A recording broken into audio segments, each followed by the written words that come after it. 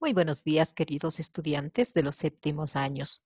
Estamos reunidos una vez más para tratar un nuevo tema de lengua y literatura. En este caso, hablaremos de gramática.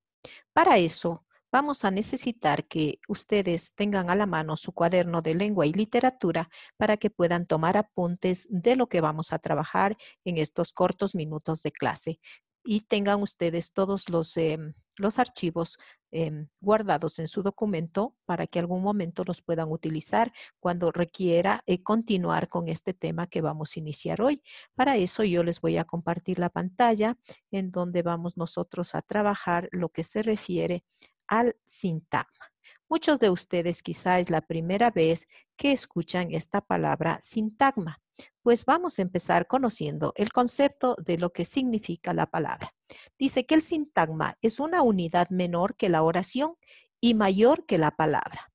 Aunque un sintagma formado por una única palabra puede constituir una oración, granizo, por ejemplo. Las oraciones están constituidas habitualmente por dos componentes básicos. El sintagma verbal, que vendría a ser el predicado y el sintagma nominal que desempeña la función de sujeto. Es decir, toda oración o toda idea completa siempre tendrá por lo menos dos sintagmas, el sintagma verbal y, el sintagma nominal que desempeña la función de sujeto, en este caso el último.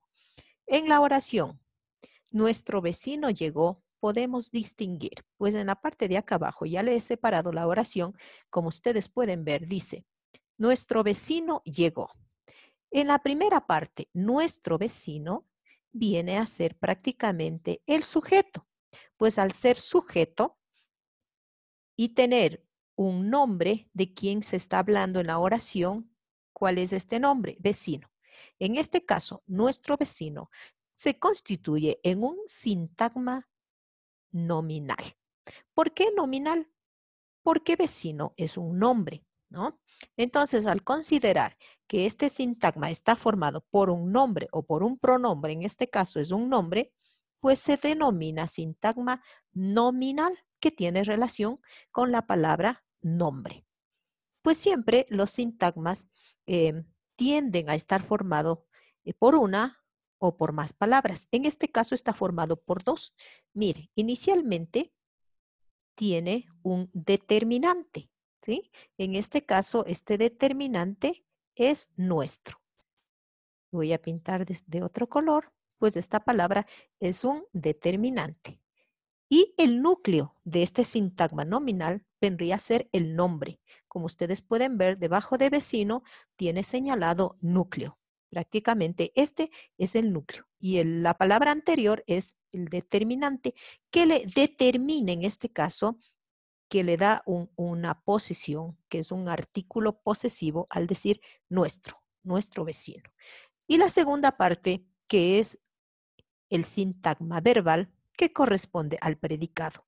En este caso, Solo tenemos una palabra en el predicado, como podemos ver en el ejemplo de acá arriba, y luego lo he descompuesto en la sección de abajo, que la única palabra que cumple la función de predicado en este caso es la palabra llegó. Como está sola, única, pues en este caso esta viene a ser el núcleo, pues no hay ningún otro elemento al que podamos reconocerlo como otra parte de, de esta estructura, ¿no? Pues al ser un verbo, este núcleo, obviamente, el sintagma se llama sintagma verbal y se abrevia SV, ¿sí? Pues bien, vamos a continuar. Cada sintagma puede contener dentro de sí otros sintagmas. En el análisis sintáctico hay que precisar qué función sintáctica desempeña cada uno de ellos. Relación entre tipo, de sintagmas y funciones. Pues bueno, vamos a ver cómo está estructurado regularmente un sintagma. Digo regularmente porque es lo acostumbrado, pero más no es lo, lo exigido. Ustedes pueden ver aquí tenemos nosotros como en el centro dice núcleo. Aquí vendría la palabra principal del sintagma, ¿no? En esta sección donde dice núcleo, estaríamos obligados a reconocer o a escribir em, el núcleo o la palabra o el elemento fundamental de la estructura de, de esta unidad gramatical. Pero posiblemente antes del núcleo tenga un determinante, que por lo general vienen a ser los artículos, el, la, un, unos, ellos, etcétera, ¿no? Y luego se suma después del núcleo, con frecuencia suele haber complementos, que en este caso pueden ser adjetivos, ¿no? Que vendrían a complementar a este núcleo o a variar, a darle una variedad de su significado. Bien, ¿por qué está el determinante y el complemento dentro de un paréntesis en mi explicación? Esto quiere decir que no siempre es obligatorio que haya determinante y complementos. Puede o no haber, ¿sí? Un determinante.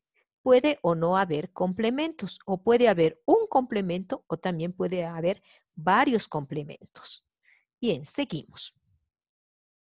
Luego vamos a ver que los, eh, los sintagmas también se pueden clasificar de acuerdo a eh, la función sintáctica que desempeña cada uno de ellos en la oración.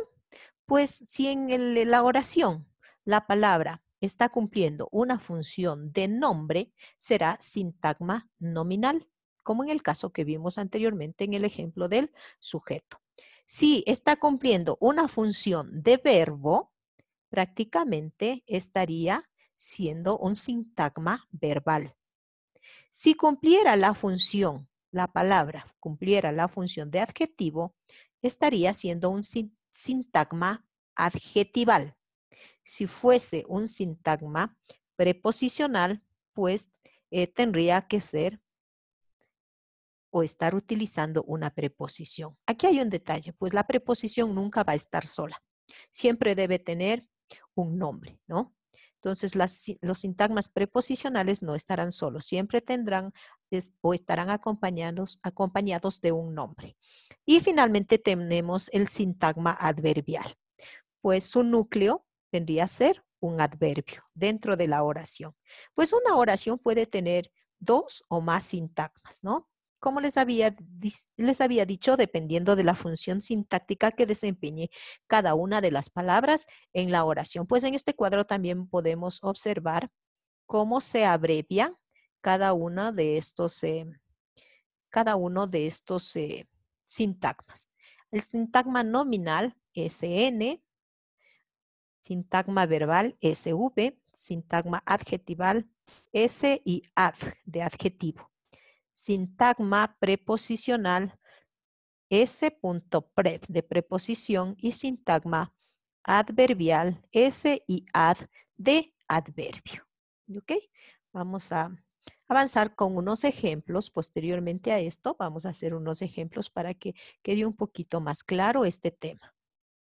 Ejemplos. Los ejemplos podemos por ejemplo, podemos alargar la oración anterior introduciendo distintos tipos de sintagmas, cada uno con su función. En este caso, eh, les voy a poner una nueva oración que va a ser un poquito más fácil poderle analizar. Dice, ayer hicimos un bizcocho buenísimo con mucho chocolate. Y en este, en este ejemplo, con esta oración, vamos nosotros a identificar todos los sintagmas que, podamos, que podamos encontrar en esta oración. Pues por eso tenemos acá arriba puesto clases de sintagmas. Vamos a empezar desde la palabra ayer. Pues nosotros tenemos aquí la palabra ayer en el lado derecho del texto, pues lo hemos señalado. ¿Qué es ayer? Prácticamente es una palabra que significa adverbio, adverbio de tiempo, ¿no?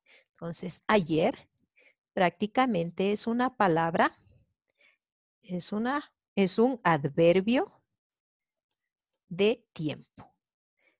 Está sola en este caso, ¿sí? Al estar esta palabra sola, porque le he desglosado de esta manera para reconocer qué clase de sintagma es, pues es un sintagma adverbial.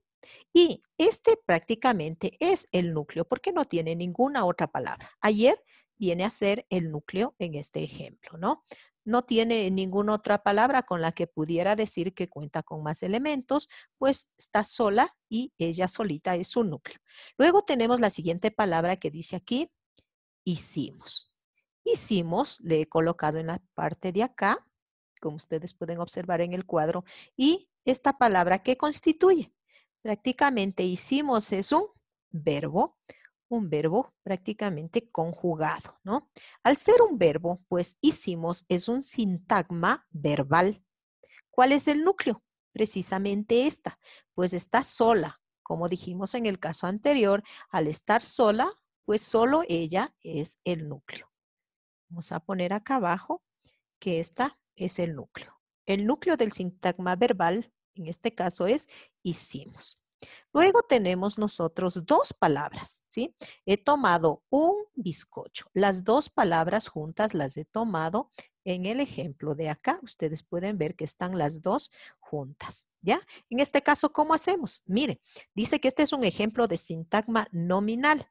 ¿Por qué será nominal? ¿Mm? Vamos pensando. Mire lo que estoy marcando yo, esta palabra, ¿sí? Estoy marcando la palabra bizcocho. ¿Qué es bizcocho? En este caso, bizcocho viene a ser un nombre o un sustantivo. Este nombre, al ser bizcocho nominal, pues prácticamente el núcleo es bizcocho, ¿no? En este caso, el núcleo de este sintagma nominal es la palabra bizcocho. ¿Listo?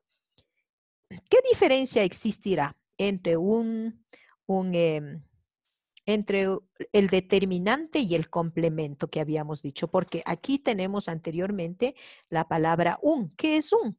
Un viene a ser una palabra determinante en este caso, ¿no? Es un elemento del sintagma nominal porque aquí hay dos elementos. Está el núcleo acompañado de un determinante. ¿sí? Recuerda que anteriormente le dije que tenía esa estructura que estaba formado por algunos otros elementos. En este caso, ¿qué hace el determinante? Al acompañar al nombre bizcocho, lo que hace es limitar su significado, es decir, lo concreta. No es cualquier bizcocho, es un bizcocho. ¿sí? Esa es la función que está cumpliendo en este caso el determinante un. Seguimos con el siguiente ejemplo o la siguiente palabra, pues necesito marcarle aquí, mire, buenísimo, está aquí y lo he marcado en esta parte de acá abajo. Voy a subir la página para poder indicarles de mejor manera, ¿sí? Tenemos aquí buenísimo, está marcando, ya lo he marcado esta palabra. ¿Qué será buenísimo? Buenísimo, ¿qué significa buenísimo gramaticalmente? ¿Qué función en una oración puede cumplir la palabra buenísimo? ¿Mm? ¿Qué función sintáctica cumple? En este caso, buenísimo es un adjetivo, ¿sí? Es un adjetivo superlativo. Espero que sí se estén acordando de este, de este tipo de, de adjetivos que anteriormente ya los habíamos visto nosotros en clase y hoy nos sirve como base para recordar este tipo de, elementos gramaticales. Buenísimo, cuando la palabra está sola, prácticamente nosotros podemos decir que este es el núcleo del sintagma. No hay nada más, ¿no es cierto? No hay ninguna otra. Entonces, este es el núcleo del sintagma, sintagma adjetival. Y finalmente tenemos un sintagma preposicional. Observe, como le había dicho anteriormente, que los sintagmas preposicionales no están solos. Estos sí, no están solos. Siempre están acompañados. Miren este caso, vamos a hacer este análisis. Tenga mucho cuidado con lo que le voy a decir y con lo que vamos a ver. Voy a señalar cuál es la palabra más importante de este sintagma. Obviamente yo le he marcado chocolate. Esa viene a ser en este caso la palabra más importante. Por lo tanto, considero yo que esta palabra eh, marcada tendría que ser el núcleo de este sintagma, ¿no? Entonces, debajo de chocolate le voy a poner núcleo. Este sería el núcleo. Pero tiene dos palabras antes, ¿sí? Voy a ir eh, retrocediendo en orden. Tiene la palabra mucho, mucho, y tiene la palabra con. Como usted ve, primero hay que analizar qué función sintáctica cumple en la oración cada uno de estos. ¿Mucho qué es?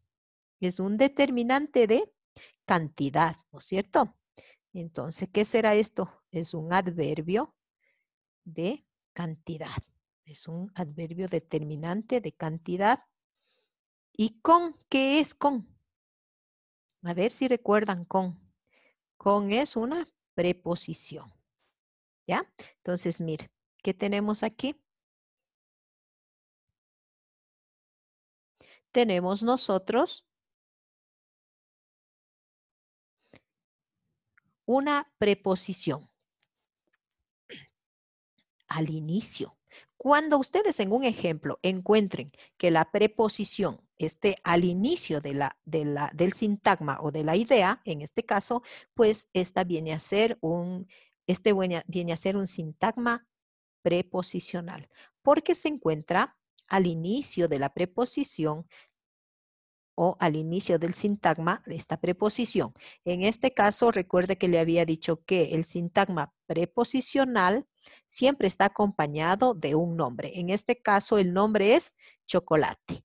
Bien, hemos hecho ya estos ejemplos con los que usted puede ir diferenciando cada una de las clases de sintagmas y para resumir, diremos que todos los sintagmas son elementos sintácticos de las oraciones, pues no puede existir oraciones sin sintagma. Quiere decir que dentro de una oración pueden haber muchísimos sintagmas, pueden haber las cinco clases de sintagmas que hemos visto porque son microelementos dentro de las oraciones. Como pueden observar, puede estar una palabra o a la vez pueden haber dos o tres palabras para estructurar un sintagma. La base en esto es algo básico, que la oración, por mínima que sea, regularmente tiene dos sintagmas el sintagma nominal, que corresponde a la parte del sujeto que conoce usted como sujeto, y el sintagma verbal, que corresponde a la estructura del predicado.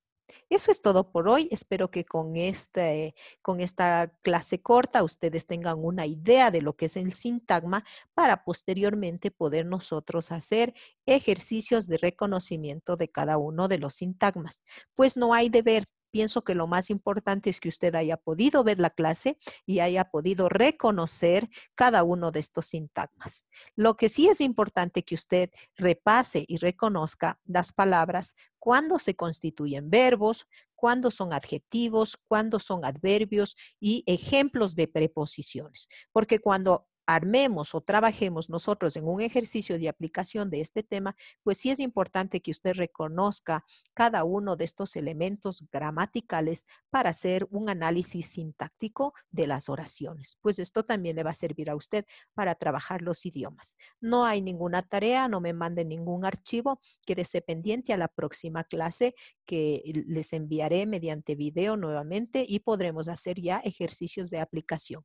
Un lindo día para todos y sean buenos hijos y pórtense muy bien. Un fuerte abrazo. Hasta la próxima.